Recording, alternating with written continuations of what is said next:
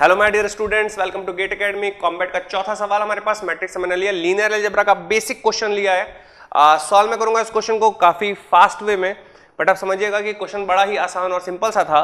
Question जो board पे लिखा हुआ है सॉल्यूशन स्टार्ट हो चुका है भैया, और ये था कॉम्बैट नंबर फोर तो ये रहा हमारे पास question A is a square matrix of order three बहुत सारे लोगों ने कमेंट किया, सही भी कमेंट किया। तो यहाँ पे ऑर्डर हमारे पास थ्री का एक मैट्रिक्स दिया हुआ है। इसका मतलब ए थ्री क्रॉस थ्री का एक मैट्रिक्स है, आराम समझते हैं। ए थ्री क्रॉस थ्री का हमारे पास मैट्रिक्स है, ठीक है? और बोल रहा है नॉन ज़ीरो डायगोनल एलिमेंट्स है। मतलब इसका मतलब ये कि बाकी ज़ीरो हो या ना हो, ये तो कंफर्म है कि यहाँ पर नॉन ज़ीरो है, यहाँ पर नॉन ज़ीरो है और यहाँ पर नॉन ज़ीरो है। बाकी का पता नहीं, बाकी भी हो सकता है ज़ीरो या नॉन ज़ीरो ठीक है? बट ये कंफर्म नॉन ज़ीरो है। ये एबीसी जो हमारे पास दिया हुआ है, ये हमारे पास कैसा एलिमेंट है? नॉन ज़ीरो मतलब माइनस हो सकता है प्लस हो सकता है बट ज़ीरो नहीं हो सकता। ऑल भी लगा दिया मतलब सारे के सारे, ठीक है? आगे कहानी क्या? If rank of A power three is zero ठीक है? If rank of A power three is zero A power three का रैंक ज़ीरो दिया हो तो सबसे पहले रैंक के बारे में हल्का सा आपको आइडिया रहना चाहिए कि रैंक जो है वो ज़ीरो कब होता है। बेसिक पता ही होता है हम सबको। तो याद रखिएगा रैंक ज़ीरो कब होता है? जब भी आ, किसी भी मैट्रिक्स में चाहे वो कितने ही कितने क्रॉस का हो चाहे वन क्रॉस वन का हो चाहे वो हंड्रेड क्रॉस हंड्रेड का हो या एन क्रॉस एन का हो किसी भी मैट्रिक्स का रैंक नोट कर सकते हैं आप। किसी भी मैट्रिक्स का रैंक तभी ज़ीरो होगा, केवल if and only if all the elements are zero that means null matrix तो किसका रैंक ज़ीरो होता है हमारे पास? नल मैट्रिक्स का रैंक ज़ीरो होता है। क्लियर किसका रैंक ज़ीरो होता है आपके पास? नल मैट्रिक्स का रैंक ज़ीरो होता है।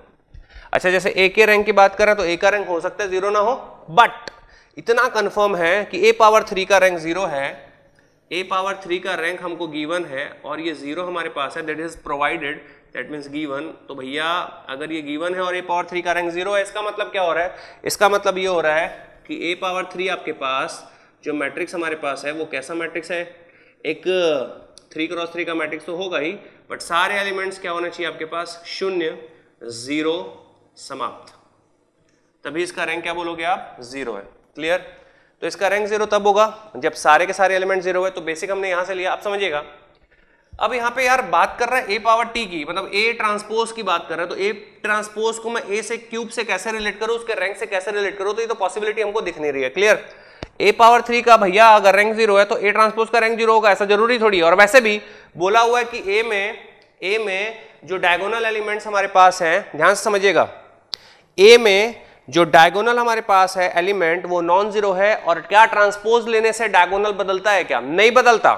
ट्रांसपोज लेने से डायगोनल में चेंज होने वाला है क्या? नहीं होने वाला भाई। ट्रांसपोज में डायगोनल में चेंज नहीं होने वाला। फॉर एग्ज़ाम्पल अगर मैं बात करूँ, एक मैट्रिक्स हमारे पास ए है, ठीक है?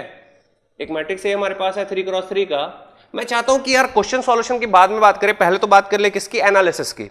ठीक है तो क्वेश्चन में ट्रांसपोज का बोलने का मतलब क्या? सपोज़ लिखा हुआ one three four seven nine two और वन माइनस वन सेवन अगर आप इसका ट्रांसपोज लेते हो क्लियर अगर आप इसका ट्रांसपोज ले रहे हो तो ट्रांसपोज से क्या परिवर्तन आया देखें?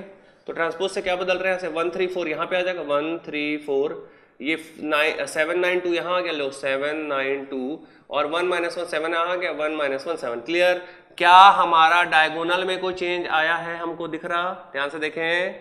डायगोनल में कोई चेंज ये देखिए डायगोनल में कोई चेंज नहीं आया। 197 197 डायगोनल है। तो इसका मतलब ये हो रहा है कि अगर मैं रिलेट कर पाऊँ ए क्यूब को ए क्यूब का रैंक को ज़ीरो जो लिखा हुआ है, उस ए क्यूब के रैंक का ज़ीरो होना अगर ए से कुछ रिलेट हो पाएगा तो ए ट्रांसपोज से रिलेट हो गया। दिक्कत वाली बात नहीं है। अब देखिएगा यहाँ पे डेफिनेशन आने वाली है। देखो लेयर्ड क्वेश्चन है।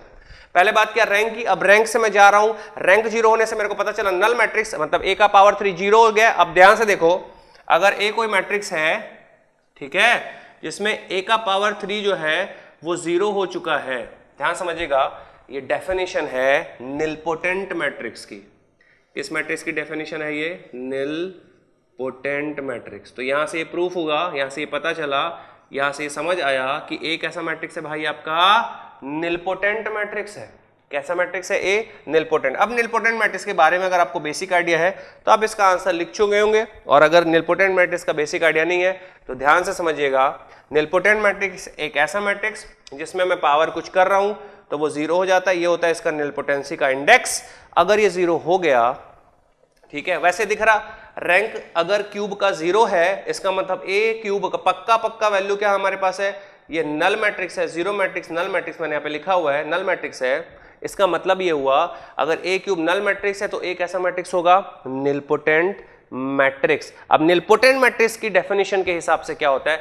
निलपोटेंट मैट्रिक्स का आइगेन वैल्यू जो है वो ज़ीरो ज़ीरो ज़ीरो होता है। निलपोटेंट मैट्रिक्स का ट्रेस जो है वो ज़ीरो होता है। निलपोटेंट मैट्रिक्स का डिटर्मिनेंट जो है वो भी ज़ीरो होता है। इसका मतलब ये हो रहा है कि यहाँ पे अगर ए ट्रांसपोज के आइगेन वैल्यू की बात किया, देखो लेयर रैंक के बाद रिलेट कर रहा है भाई आइगन वैल्यू को। अगर ट्रांसपोज के आइगन वैल्यू की बात किया गया है तो आप सीधे बोल सकते हो कि जो इसका ट्रेस होने वाला है if A is a nilpotent matrix if A is a nilpotent matrix then trace is equal to leading diagonal element का sum sum of sum of leading diagonal element that means sum of eigen value जो पूछा है हमको sum of eigen value अगर nilpotent matrix की बात चल रही है तो उसका ट्रेस होता है ज़ीरो तो sum of eigen value of A बोलू, चाहे ए ट्रांसपोज बोलू, क्या डायगोनल में परिवर्तन आएगा क्या? नहीं. ए का जो ट्रेस होगा, वो ए ट्रांसपोज का भी ट्रेस होगा. दैट मीन्स अगर ए का जो आइगन वैल्यू आने वाला है और उसका जो सम होने वाला है sum of eigen value of A जो आएगा वो ए ट्रांसपोज के बराबर निलपोटेंट मैट्रिक्स का आइगन वैल्यू का सम, या निलपोटेंट मैट्रिक्स का ट्रेस या निलपोटेंट निलपोटेंट मैट्रिक्स की आइगन वैल्यूज़ या निलपोटेंट आइगन निलपोटेंट मैट्रिक्स का डिटर्मिनेंट ये सारी की सारी वैल्यू क्या होती है? शून्य। तो ए ट्रांसपोज की भी आइगन वैल्यू का सम क्या होने वाला भैया? ज़ीरो, शून्य। तो ये बहुत ही लेयर्ड क्वेश्चन था। इस क्वेश्चन में मैंने ट्राई किया कि आपको कुछ कुछ कंसेप्ट भी बात करूँ। रैंक के बारे में थोड़ी सी बात की जाए निलपोटेंट मैट्रिक्स के बारे में बात की जाए, फिर उसको रिलेट किया जाए एगेन वैल्यू से। तो ये थ्री लेयर्ड क्वेश्चन हमारे पास था। तो ऐसी क्वेश्चन के साथ मैं आता रहूँगा। कॉम्बेट नंबर पाँच मिलते हैं। बहुत जल्द। Thank you so much